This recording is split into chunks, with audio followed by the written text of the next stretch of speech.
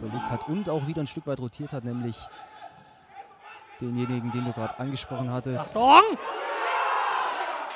Ja, und da haben wir eben diese Kompaktheit doch angesprochen und erwähnt. Und da geht sie gleich in der ersten Aktion doch schon wieder verloren.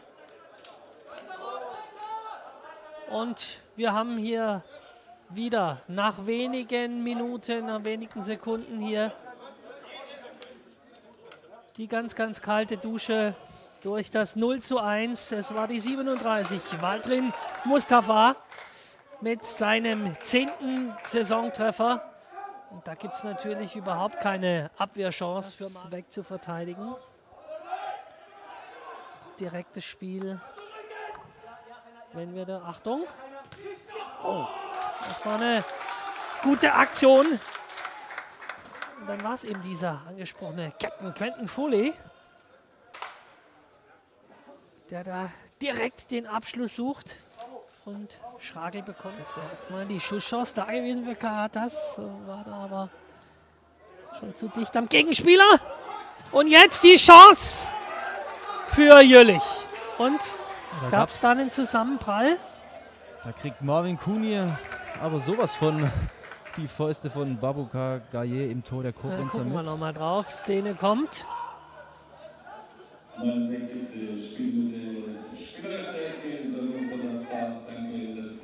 Eingabe von Geretzkier und nee, er ist erst, ist erst am Ball korrekt entschieden und dann Jülich, das ganze Tor ist offen. Aber mir fehlt der Glaube dran, dass hier noch was geht. Und jetzt sowieso nicht mehr. Jetzt ist der Deckel drauf. Und der Drops gelutscht.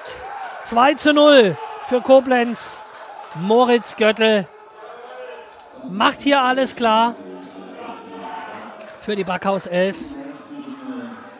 Und äh, auch Babuka Gaye ist da aus dem Tor geeilt, um vorne mit seinen Teamkameraden zu jubeln.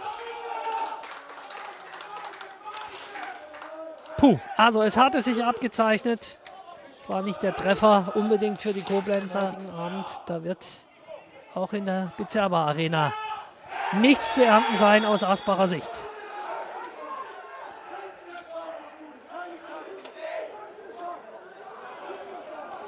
Ja. Und das kommt dann noch mit dazu.